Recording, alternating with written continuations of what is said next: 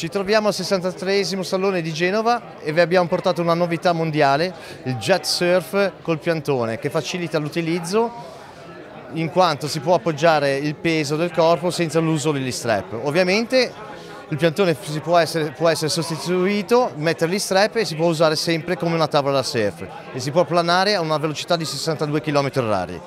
Cosa c'è di, di novità di questo modello? Che pesa pochissimo, pesa soltanto 25 kg, perciò facilissimo da trasportare. Altra novità di quest'anno per la nostra azienda è una tavola A-foil marchiata Audi, e-tron Audi per l'esattezza. Velocità massima 50 km h per planare, anzi per volare sull'acqua.